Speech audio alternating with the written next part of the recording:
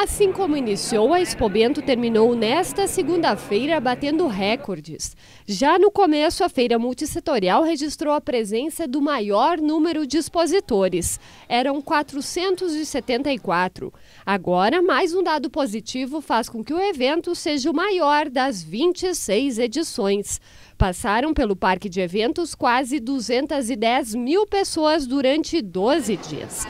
E a expectativa de expositores é que os negócios não parem por aí.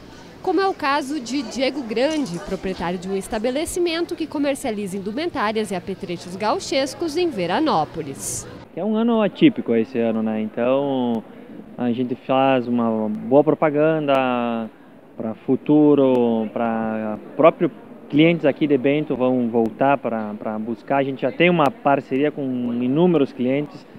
Uh, pessoas daqui de Bento vão para Veranópolis, então é um resultado bem bom. Satisfeito, o expositor pretende participar da próxima edição do evento, assim como Éder Aren. Não, para mim foi bom e o frio ajudou bastante. Quanto mais frio, o povo pode até estar na crise, mas ele tem que se sentir na necessidade de comprar. Ajudou bastante. Baixas temperaturas que foram consideradas positivas também pela organização do evento, como fala o diretor de projetos, Diego Bertolini. O clima, o frio ajudou muito, não só na vinda de turistas, mas também uh, aquecendo os negócios para os expositores. Porque para grande, um bom resultado da feira, é preciso, além de, de, de a gente satisfazer o visitante, o expositor que está aqui presente. Já a expositora Daniela de Souza diz que as vendas estão menores de uma maneira em geral. A comercialização foi boa, não dá para se queixar, só que no geral tá, tá fraco para todo mundo, né? Como a gente trabalha só com feira, desde o início do ano a gente já vem trabalhando com feiras da Expo Bento, então todas, né, tá no geral, é para todo mundo. E não só aqui, a gente faz também Festa Santa Catarina, também tá fraca as vendas. E o público se mostrou satisfeito com o que viu.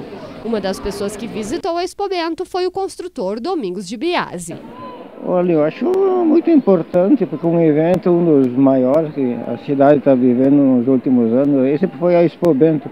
E depois tem qualidade muito boa, né? Muito, muito, muito tranquilo.